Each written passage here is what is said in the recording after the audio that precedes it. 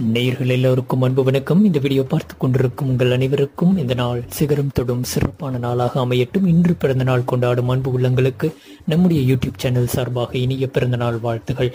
இன்று மார்ச் ஒன்று இரண்டாயிரத்து பத்தொன்பது ஸ்ரீ விளம்பி ஆண்டு மாசி பதினேழு வெள்ளிக்கிழமை. நாள்தோறும் ராசி பலன் வீடியோக்களின் துவக்கத்தில் உங்களின் மனதோடு பேசும் சிந்திக்க வைக்கும் சிந்தனையும் இடம்பெறும். அதனைத் தொடர்ந்து ராசி பலன்களும் இடம்பெறும். இது போன்ற பயனுள்ள வீடியோக்களுக்கு கீழே உள்ள சிகப்பு நிற சப்ஸ்கிரைப் பட்டனையும் அருகில் இருக்கும் பெல் பட்டனையும் அழுத்திக் கொள்ளுங்கள்.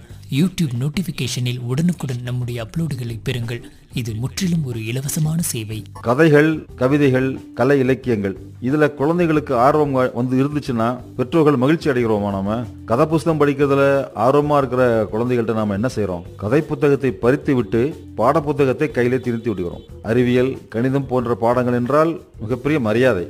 வரலாறு தமிழ் அப்படின்னு சொன்னா ஒரு இலக்காரம். இது நம்ம கல்வி புலத்துக்குள்ளேயும் இருக்கிறது.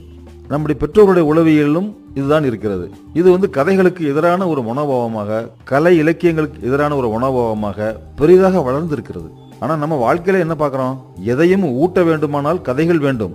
ஒரு கவலம் சோறானாலும் சரி ஒரு நல்ல கருத்தானாலும் சரி கதைகள் வழியாகத்தான் ஊட்டி இருக்கிறோம் அப்படித்தான் மனித குலம் வளர்ந்திருக்கிறது. அதுதான் இயல்பானது. இந்த உலகம் எப்படி உருவானது? அது எப்படி இயங்குகிறது? அப்படிங்கிறத அறிவியல் கற்றுத்தரலாம். எந்திரங்கள் எப்படி இயங்குது என்று இயற்பியல் நமக்கு கற்றுத்தரும். உடலுடைய நோய்களை சரி செய்வது எப்படி என்பதை மருத்துவம் கற்றுத்தரலாம். பூமியின் வடிவம் நிலம் நீர் பங்கீடு போன்றவற்றை புவியியல் கற்றுத்தரலாம். ஆனால் மனித மனம் எப்படி இயங்குகிறது என்பதை இலக்கியத்தை தவிர வேறு யாரும் நமக்கு கற்றுக் கொடுக்க முடியாது. எழுத்தாளர் பிரபஞ்சன் ஒரு முறை சொன்னார் இலக்கியம்தான் எனக்கு மற்றமை குறித்த உணர்வை கற்றுத்தந்தது.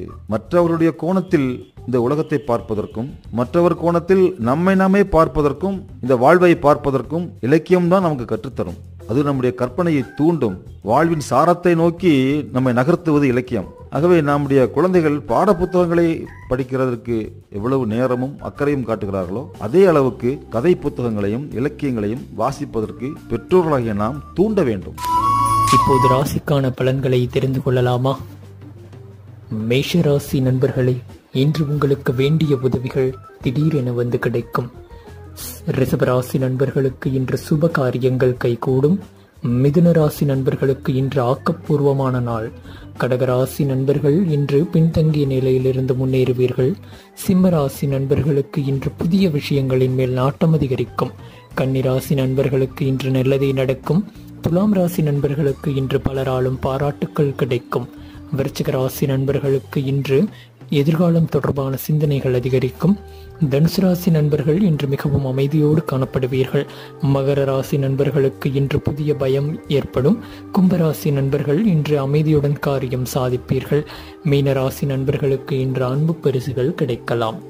இதுவரை நீங்கள் கேட்டது மார்ச் ஒன்று இரண்டாயிரத்து பத்தொன்பது வெள்ளிக்கிழமைக்கான இன்றைய ராசி பலன். இது மாதிரியான ராசி பலன் அப்லோடுகளுக்கும் மனதோடு பேசுங்கள் சிந்திக்க வைக்கும் சிந்தனை பகுதிக்கும் நம்முடைய சேனலை இன்னும் சப்ஸ்கிரைப் செய்யாமல் இருந்தால் கீழே இருக்கும் சிகப்பு நிற சப்ஸ்கிரைப் பட்டனையும் அருகில் இருக்கும் பெல் பட்டனையும் அழுத்திக் கொள்ளுங்கள். யூடியூப் நோட்டிஃபிகேஷனில் உடனுக்குடன் நம்முடைய அப்லோடுகளை பெறுங்கள். இந்த வீடியோவை மற்ற நண்பர்களுக்கு ஃபேஸ்புக் ட்விட்டர் வாட்ஸ்அப் மெசஞ்சர் மூலமாக ஷேர் செய்து விடுங்கள். இதுவரை இந்த வீடியோவை பார்த்து கேட்ட உங்கள் அனைவருக்கும் இந்த நாள் நல்ல நாளாக அமைய வாழ்த்துக்களோடு விடைபெறுகிறோம் நன்றி வணக்கம். இந்த வீடியோ உங்களுக்கு பிடித்திருந்தால்